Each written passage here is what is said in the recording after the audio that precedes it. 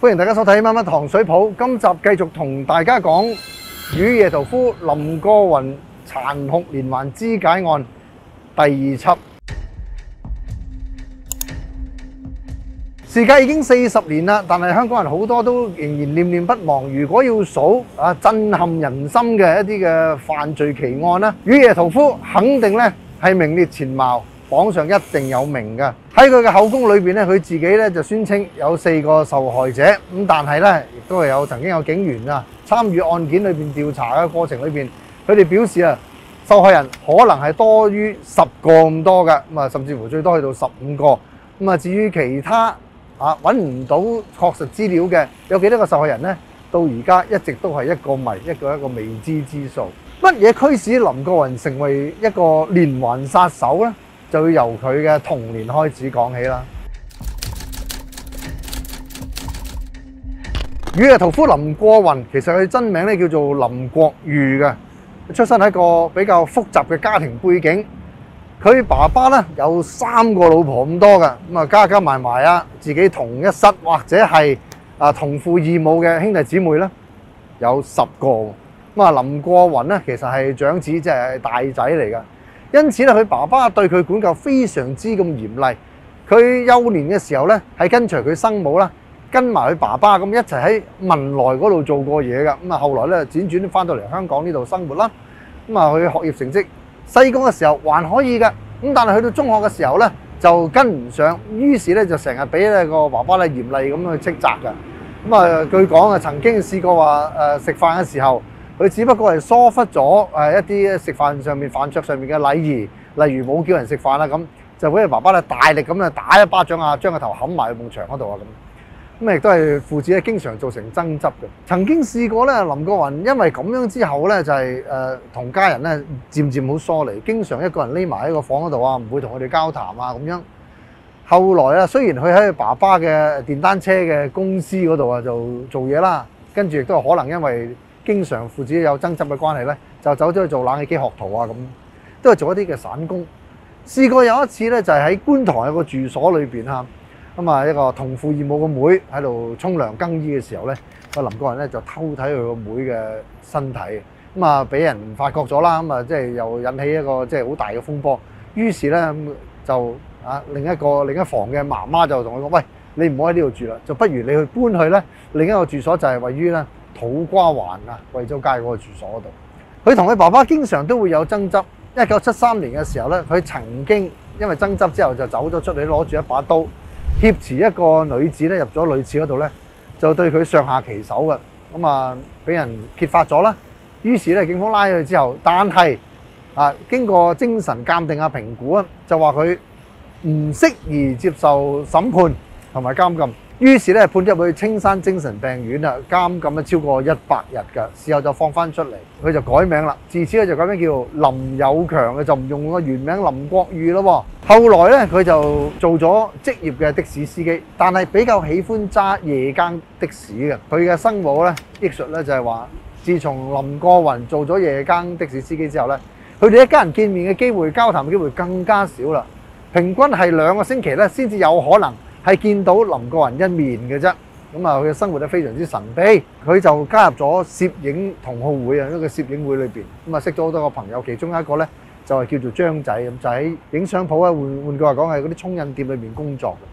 佢係對呢個攝影咧就有一個好濃厚嘅興趣。屋企地方唔係好大，佢嘅工作揾嘅錢唔係太多，但係佢好捨得買昂貴嘅攝影器材。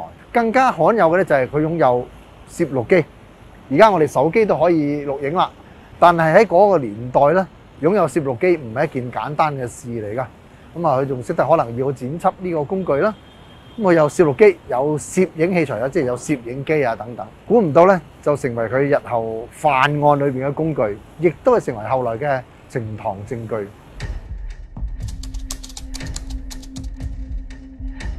喺上一集我哋咧就詳細咁講咗林過雲㗎。手下亡魂有四個受害者，佢哋嘅受害過程係點樣㗎啦？最後咧都係被肢解，然後棄屍，有啲咧甚至乎係留低佢一啲嘅殘肢嘅標本喺屋企裏邊嗰度嘅。究竟林過雲佢點解要咁樣去犯案呢？佢心理因素係點樣呢？嗱，呢件事咁轟動，警方咧對林過雲咧就嚴加盤問啦。咁啊，林過雲都直認不諱。佢話第一個受害者啊，其實佢殺嘅死者啊，即係陳鳳蘭咧，佢覺得係替天行道㗎。因為咧，陳鳳蘭咧，佢嘅任職咧就係喺舞廳裏邊啊，一個舞女大班。喺佢眼中，佢覺得呢班人咧係做一啲羞恥嘅事，係唔好嘅。咁佢覺得咧，殺害佢哋係啱嘅，佢哋係該死嘅。我特別要強調，呢個係林過雲自己嘅個人觀點，而且喺我哋嚟講，現今社會嚟講，佢的確係將呢個人性係扭曲咗嘅，冇人會認同佢呢一個觀點嘅。至於第二個同埋第三個嘅死者呢，佢哋同樣都喺夜總會度工作，不過佢哋嘅任職嘅崗位，一個係收銀員，一個係清潔女工。咁啊，其實同佢所講嘅可恥嘅工作啊，冇嚴肅嘅，即係冇呢個尊嚴嘅工作呢，根本就兩碼子嘅事。但係林國雲呢，將佢混為一談。至於點解要殺害第二同埋第三個死者呢？其實佢就話已經係殺上癮啦。好啦，如果呢樣嘢係成立嘅話，佢覺得喺舞廳夜總會工作係一種冇人性尊嚴嘅工作，佢覺得呢啲人係可恥嘅，應該死嘅。第四個死者係一個學生，又如何解釋呢？喺呢一方面，林過雲話佢唔知道點解佢要殺害第四個死者梁慧心。佢係一個少女，係一個中學生。佢甚至乎喺個車裏邊同梁慧心係進行一次最詳盡嘅交談。喺談話嘅內容牽涉好多嘅範圍，有生死啦，有宗教啦。涉及咗靈魂啊等等嘅話題啦，即係佢對梁慧心係最有感覺嘅，但係好可恥地，佢亦都係唯一一次對梁慧心進行咗姦屍。喺警方嘅盤問底下，佢哋問林國雲：既然你對最後一個死者梁慧心有咁詳細嘅交談，點解你都要將佢咁狠心去殺害呢？林國雲佢答唔出嚟，甚至乎佢曾經一度因為咁樣而落淚，有種感觸喺度嘅。佢最後俾個答案就係話：我唔知點解要殺咗佢，但係即使係咁樣，佢犯下嘅罪行呢係證據確鑿，無可以推諉嘅。除咗佢犯下咗奸屍呢個嚴重嘅罪行之外咧，其中有位死者係曾經俾林國雲咧切咗肉落嚟咧，佢嘗試食人肉嘅滋味。不過佢自己都話咧，佢試咗之後咧，佢覺得嘔心，佢又有啲啊作嘔嘅感覺，咁啊所以佢覺得人肉並唔係好食啊，亦都係放棄。咁啊，只係將佢哋一啲嘅人體殘肢啊，特別係性器官嘅部分咧，就切咗落嚟咧，製成標本啊，俾自己日後去欣賞啊。咁啊，再欣賞呢啲標本實物之餘咧，拍攝嘅錄影帶啦，就係喺佢解剖屍體嘅過程啊，全部俾佢記錄翻落嚟咧，係作為佢自己嘅戰利品之一嘅。根據前法醫嚇，就係馬宣立佢嘅證供，佢話睇過誒錄影帶，林過雲佢嘅解剖咧。係自學翻嚟，亦都睇得出佢第一次佢嘅手勢係非常之唔純熟，落刀嘅地方咧往往有失誤嘅。第一刀同跟住落刀嘅地方咧都係會唔同嘅。但係佢睇到第二次同埋第三次佢同樣用解剖刀去做解剖嘅時候咧，佢嘅技術進步得好快，亦都係好純熟。咁因此咧，除咗話有人體嘅器官做標本之外咧，喺屋企裏邊仲搜到一副女性嘅盤骨出嚟，但係佢有冇對其他女性死者進行呢個奸屍活動？因為第一揾唔到全部死者嘅肢體，第二亦都有部分嘅死者嘅外陰部位就係被製成標本，俾藥水浸泡咗太耐啦，所以係好難，基本上係冇可能咧查出佢哋生前或者死後有冇被侵犯過。有啲咁變態嘅行為，而且一而再、再而三咁樣犯案，十足十就係一個連環殺手。喺外國嘅地方，我哋成日都見到咧連環殺手嘅出沒咧，呢啲咁嘅案例咧屢見不鮮。但係香港真係從來都未試過。如果係因為一時衝動而去殺人咧，之後真係好難有跡可尋去追查嘅。咁但係連環殺手就唔同啦，佢哋作案嘅手法咧，係完全可以追隨得到嘅，就以林國華為例啦。佢哋首先為咗一時嘅興起去殺人先，但係跟住佢哋會有一種冷卻期嘅。換句話講，即係暫時咧去沉澱一下，佢哋咧暫時唔再去犯案。但係好快咧，佢有一個咧就係幻想期啦，就係嗰種衝動咧，迫使佢再次出手，因為咁樣就會變成上癮，喺從中咧獲得一種嘅快感喺度嘅。但係一而再。再而三去重複呢三個階段嘅話呢，佢哋犯案嗰個期間係會越縮越短嘅。我哋睇翻林國雲咧，就會知道佢有一個類似咁樣嘅進程喺度。第一次犯案嘅時候係二月，如果我哋相信期間佢係冇再犯案，因為真係揾唔到實質嘅證據啊嘛。第二單犯案係五月，跟住咧就係七月同埋八月啦，係越嚟越密嘅，進入一個咧比較係瘋狂嘅狀態。而往往咧，兇手因為佢進入呢種咁嘅瘋狂狀態去犯案嘅話咧，就會令到佢露出破綻啦。林國雲呢單案件就係咁樣啦。第一，佢稱自己做雨夜殺手，咁當然啦，傳媒叫做雨夜屠夫，因為佢犯案嘅時候咧，好多時都係個落雨嘅晚上，亦都因為大雨嘅關係，令到佢將第一個死者陳鳳蘭嘅殘肢棄置喺山坡草叢甚至河邊嘅時候，都被雨水沖走，然後落到去下游嘅地方嗰度呢，係浮咗上岸而俾人發現。至於第二樣就係估都估唔到，林國雲咁熱衷，中意去影相拍照，佢自己亦都識得去沖印。雖然屋企地方唔係好大，佢嘗試自己又沖印嗰啲照片，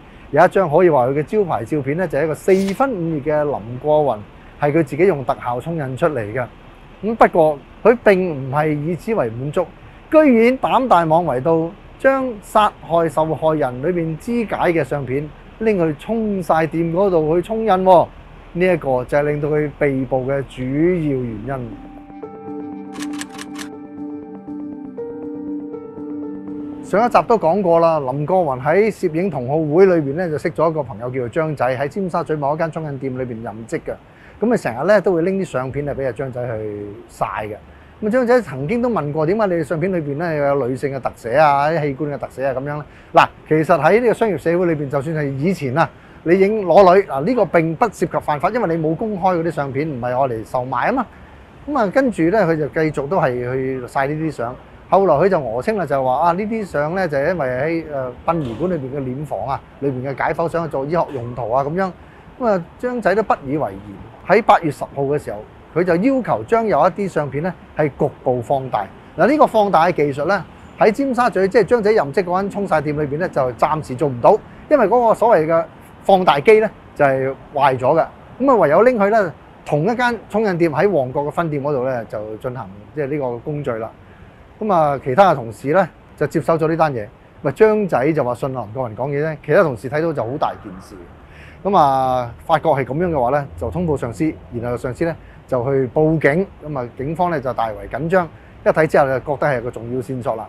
嗱，據講嘅其中有一個線索就係話咧，除咗係有解剖嘅過程啊，有特寫之類啦，有一張相片嘅一角有一滴水珠喺度。嗱，當然啦，即係喺解剖過程裏邊咧，可能會運用到藥水啦，或者用水去清洗一啲地方啦，所以有水珠係唔奇。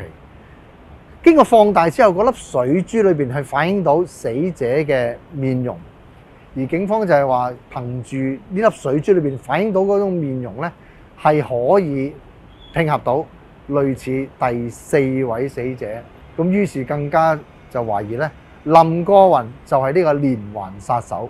於是咧喺佢十八號去攞相嘅時候，就將佢拘捕。去審判嘅期間，證實佢嘅精神咧可以話係。雖然係扭曲，人性扭曲，但係佢精神係健全。佢亦都一再逃避，希望利用呢種咁樣嘅好似精神病嘅漏洞咧，佢能唔能夠逃避去審判嘅？轟動一时嘅雨夜屠夫林過雲啊，被裁定嘅判以還手死刑。咁當然啦，咁香港嗰陣時已經係咧廢除咗死刑，咁啊循例係改判終身監禁。終身監禁咧，有陣時係會有假釋嘅，例如紙盒藏屍案嘅主角歐陽炳強就係其中一個例子啦。咁啊，曾經都有一個咁樣嘅傳聞出嚟，就話林過雲有可能進行假釋，就引起咧好大嘅風波。咁啊，個個咧都係人心惶惶。經政府去解釋啦，相關部門懲教署去解釋，就係話只係一個循例嘅程序啫。林國雲因為佢再犯嘅機會係非常之大，佢係永遠係不可能作假釋。換句話講。係真正嘅終身監禁，佢將會老死喺監獄裏邊。喺審判之後，林國雲嘅爸爸就喺圓玄學院設置靈位，將四位死者啊嘅靈位咧就喺嗰度供奉。但係咁樣能唔能夠洗刷咗佢個仔所犯下嘅罪行呢？佢爸爸講過，佢話雖然佢對管教非常之嚴，但係責任唔在於佢。佢話社會應該負起一定嘅責任。你又同唔同意呢一個講法呢？雖然話死者已矣，案情已經發生咗四十年啦，但係大家記住，天網恢恢，疏而不漏。我哋幾時都會有一個盼望，我哋幾時都會相信公義係會彰顯嘅。以上就係今集嘅內容啦，咁希望大家會喜歡一連兩輯咧，就講雨夜屠夫林過雲嘅案件啦，就係我都想講好耐嘅案件，希望大家會喜歡啦。我亦都會繼續講唔同地方嘅奇案俾大家聽嘅。大家喜歡嘅話，俾個讚我啦，俾個 like 啊，咁啊介紹俾多啲朋友睇。乜乜糖水鋪，多謝。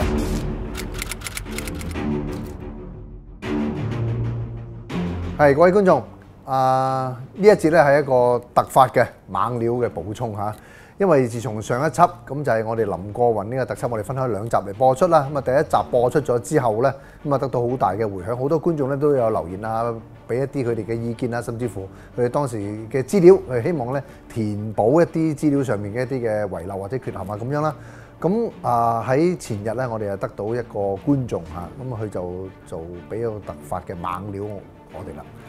有好多嘅資料。嗱，我哋首先講翻咧，林過雲點解會落網咧？就因為佢將啊嗰啲受害人嗰啲啊被害嘅照片啊、解剖圖啊等等啦，咁啊拎去一間啊沖印公司嗰度晒出嚟啦。咁於是就咁樣嚟揭發咗呢一件案。咁啊，跟住又揾到有四個受害者咁多啊嘛。咁啊，上一集我咪講過話咧，警方嘅線索就話應該受害人咧係多過十個咁多嘅。咁啊，究竟係唔係咧？亦都有冇咁嘅證據咧？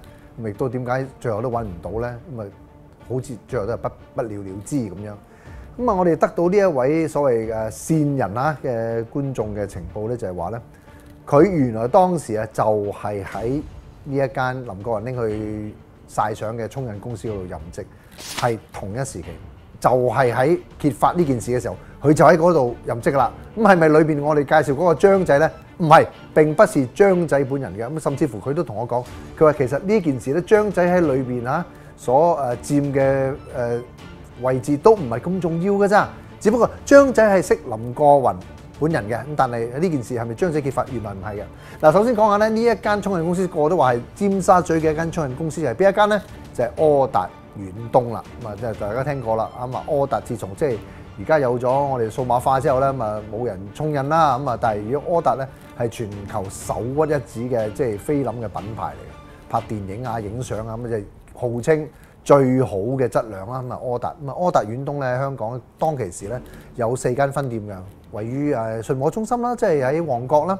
咁啊就係尖沙咀海逸酒店個商場嗰度，向住彌敦道嗰邊嘅，咁有一個鋪位。咁啊，香港島呢邊咧就中環北打街嗰度，同埋北角咧就有一個國都商場嗰度就有個門市。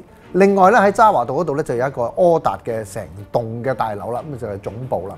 所有係所有嘅菲林咧都要交翻去總部嗰度做沖印嘅。啊，喺總部一次嘅沖印就唔喺店裏邊做沖印，即係發展到後期先至喺店裏邊可以自己有沖印機咁樣嘅啫。但係當其時唔係，因為當其時咧，如果你總一卷菲林咧喺八十年代初啊嚇，呢件案就八二年啊嘛，八十年代初嘅時候咧。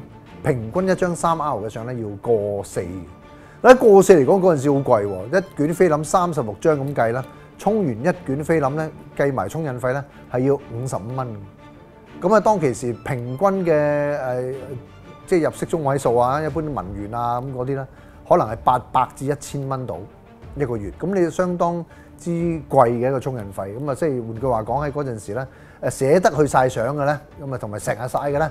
都係真係好有錢或者係好喜愛攝影先至得啦。咁呢個我哋號稱線人 S 啊，線人 S 啊。咁佢就係話林過雲係一個熟客，佢係成日嚟晒相嘅。咁佢哋都話咧，林過雲嘅相嘅攝影技巧真係唔錯，真係唔錯。咁但係當當初佢晒啲咩相為主咧？原來佢係翻影翻色情雜誌裏邊嘅相。換句話講係平面嘅，即係冇立體感嘅，即係影一張鹹照啦嚇，咁啊影翻呢啲咁嘅相。咁啊後來咧就見到有好多呢啲誒女性嘅裸體啊，甚至乎後來知嚟死屍啊、解剖圖啊、女性性器官嘅特寫啊嘅鏡頭啊等等。咁你會話啦，佢哋原來睇咗呢啲相好耐㗎啦，點解會睇到？同埋點解咁後先至通報呢？原來佢哋就話有解釋嘅。第一件事就係話誒呢啲相呢，當初佢哋睇到不以為然，因為幫襯佢哋，因為如果去柯達嗰度沖曬呢，係收得比較貴嘅。咁啊換句話講，你收得貴誒，質量希望高，咁啊嚟嘅客人呢個質量都會高啲喎，唔係一般嘅沖曬鋪喎啊！佢哋嗰陣時嚟幫襯嘅咧，有好多真係喺醫學院裏邊工作嘅人，有啲醫生咧，有啲係教授啦咁樣，係真係會見到呢一類咁樣嘅相嘅，係有嘅啊！但係知道嗰啲人係做咩工作啊嘛，亦都咁講，佢都係見到有啲所謂的社會嘅名人咧，影到一啲不堪入目嘅相，佢哋都有嘅，但係礙於呢個專業嘅守則啊，同埋客人嘅私隱，佢哋係唔能夠公開，亦都唔自己睇完就算啦。咁點解會睇相？係咪一定會睇相呢？原來又唔係㗎，視乎佢生意額多唔多，即係嗰一排多唔多人去曬相。多人曬相嘅話呢，佢哋就真係忙到呢，就轉不過嚟，即係喺總部曬完相就分發去每一個分店個鋪位嗰度俾翻客人啊，咁唔可以錯漏。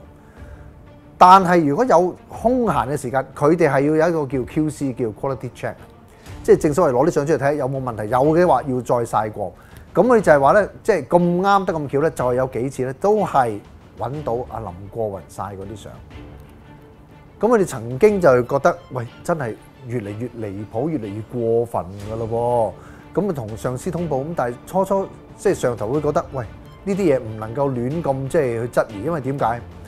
一旦人哋攞到證據話呢啲原來係真係我合法得翻嚟嘅，即係例如咩叫合法咧？我真係。